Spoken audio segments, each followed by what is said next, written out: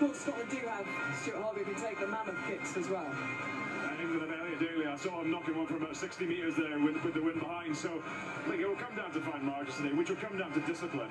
You've got to be disciplined. Your set piece, got, I mean, it's tick all the boxes. You've got to do it today.